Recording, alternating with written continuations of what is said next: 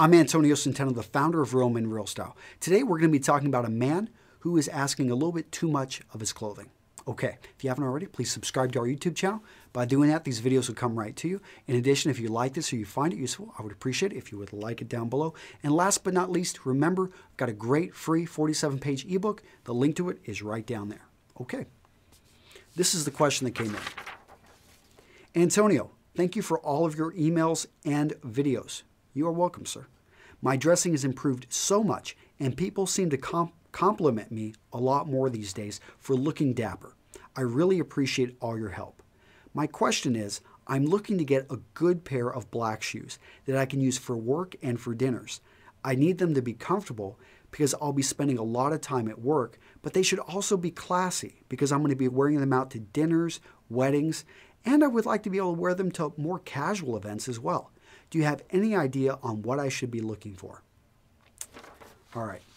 Well, the gentleman, in my opinion, he's asking too much from one pair of shoes. And let me use the analogy of vehicles. Um, I'm a motorcycle. I used to be a motorcyclist. I've ridden my bike all over the place. And I loved my bike. But whenever I traveled to India, I saw people doing things on motorcycles that I didn't know could be done. Literally, I would see like a family of five on a motorcycle stacked up, and it would just just blew me away.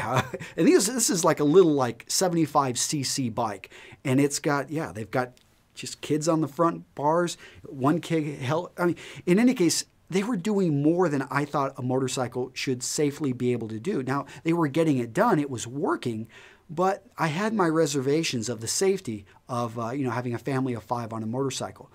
And I'm gonna so let me go back to shoes here. You're asking too much from one pair of shoes. And because what you're going to have to do in order for it to be both comfortable and dressy, you're going to need to go for a well-fitted pair of probably, I, I would say Oxfords, but they're never going to be casual enough to wear with jeans. So you've got, it's just, you're not going to be able to take them down, down that low.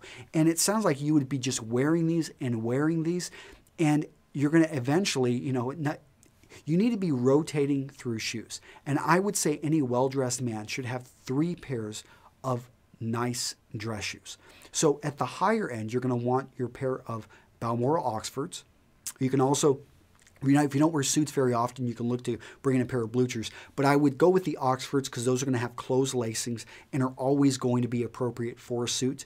And you just want to have something at the higher end level.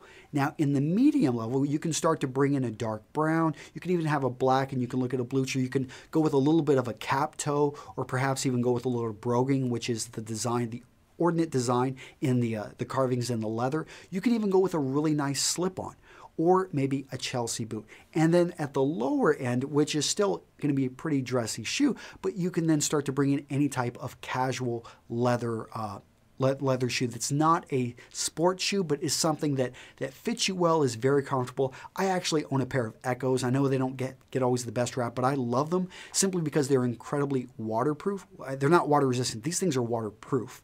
And here in Wisconsin, when I'm going through the slush, I just slip those things on. Yes, they're not as dressy looking, and I probably could go with galoshes, but when it comes to doing things around here in this small town, these shoes are plenty and they still look dressier and they perform better than any type of running shoe and they're a lot easier to put on than any type of uh, work boot. Okay, so the point again is that don't ask too much. Nowadays that I have a family of five, I own, I don't have my motorcycle anymore. But if I did, I would still, oh, I, I wish I had my Sprint ST Triumph, beautiful bike. Man, I've got, ah, I've got my truck and we've got a minivan because those two vehicles suit our family's needs. And with you, think about that with your shoes. I realize that you may have to bring down the price on, you know, if you could only afford one pair of $300 shoes, I would say starting off, you know, maybe look to pull back on the price and you know, start with, there, there are reasonable shoes in the 50 to the $100 range. And if you can't even afford that, then go look for secondhand thrift, uh, thrift stores find a pair of uh, shoes that you can get for a few bucks that has been gently worn. All right, this has been Antonio Centeno with Real Men Real Style. I will see you in the next video. Bye-bye.